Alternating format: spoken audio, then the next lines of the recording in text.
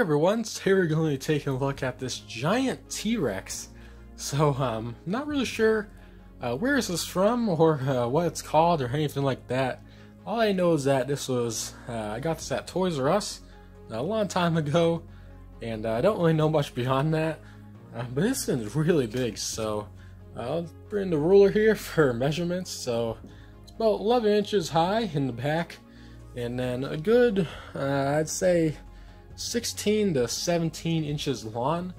Uh, so this is a very big um, fin here. So uh, the cool thing is I really like about this, it's actually all made of rubber. So you can squish him, uh, and he's definitely got a cool uh, kind of flesh-like uh, feeling. So I really like that. Uh, it gives you opportunities to you know bend the body parts and stuff. really really cool. You kind of splay the legs if you want. Uh, your arms can move, close the mouth uh, because of that.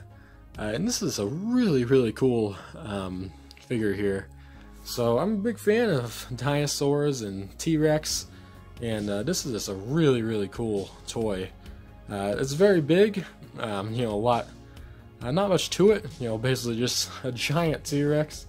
I really like that it's made of rubber. It's a really cool that they did. But uh, not much to say about this. Um, you know, not much to it, uh, but it does look really, really cool, and uh, really, really cool toy. Uh, so that's gonna do it for this video. And if you like this video, be sure to check out some of the other ones here on JR Toy Reviews. See you soon.